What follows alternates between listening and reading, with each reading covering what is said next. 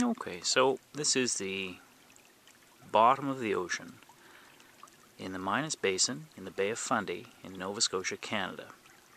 It is August 2011. And this is the largest littoral zone, which means beach or intertidal zone, um, on Earth. At least I think it is. And the tide here is extreme. These are the five islands, I suppose. Maybe I should mention that. We're on Long Island right now. The tides here are extreme, about 50 feet or more from high tide to low tide. And the tide goes in and out very, very quickly. Anyways, there's a lot of interesting things in terms of sedimentation in littoral zones. And we're just going to look at this one, which is a stream. Now, the stream is actually salt water. Um, it's leaking out of the surrounding sediments, but I want to show you a couple of things. One of them is the types of load in a stream. Now, I mentioned it was salt water. So, in salt water, I suppose salt is dissolved. And so that's called the dissolved load. Anything that will dissolve in salt water, or in, in any water, is called dissolved load. Now, bed load, or traction load, um, is what's moving. I, don't, I hope you can see that. In the bed of the stream, hoping you can see things moving. In the bed of the stream are sediments that are moving along the bed. They're not up in the uh, water, they're actually in the bed of the stream. And the way they move is by hopping and skipping along the bottom. That's called saltation. Other things just roll along the bottom, and that's the traction load, I suppose. So that's the bed load. So we have dissolved load and bed load. Now, hopefully I'll be able to find a bit of murky water um, that'll have some sediment in it, and that would be called the suspended load. That would be the silt and the clay.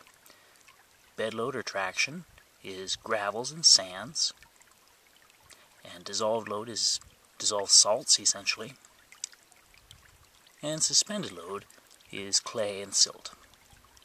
I'll try and find that for you. Okay, so there's a few interesting features here. Um, one of which is a divided stream.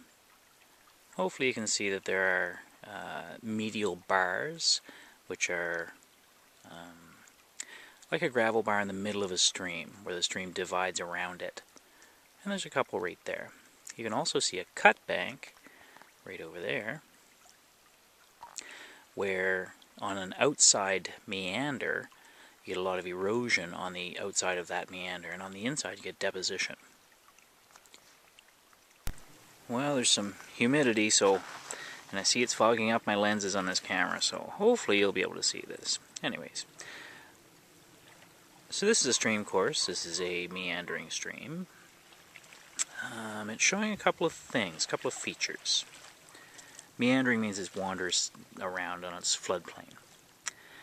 And two of the features that it's showing are a cut bank. Uh, where can I show you a cut bank? So if you look on the left side of this meander, you can see that erosion has taken place and the bank is sort of falling in or being cut in. It's called a cut bank. And on the inside of the meander, there's more sediment buildup. That's called a point bar. The reason why is that on the outside of the meander, uh, the current is faster and on the inside the current is slower. In a faster environment, you can carry larger sediments, and you can definitely carry all the finer sediments, which leaves the larger ones, or the largest ones anyways, behind. That's why the coarse grain sediments are on the left, and the finer grain sediments are on the right. It's a slower environment on the right. Cut banks, point bars, and meanders. I suppose more correctly you would call these meander scars since the stream is no longer there. This is quite a well-developed cut bank. It's actually being undercut, and then you would have slumping. I can show you slumping. Right there. That's slumping of the undercut cut bank where new material enters the stream and is carried away.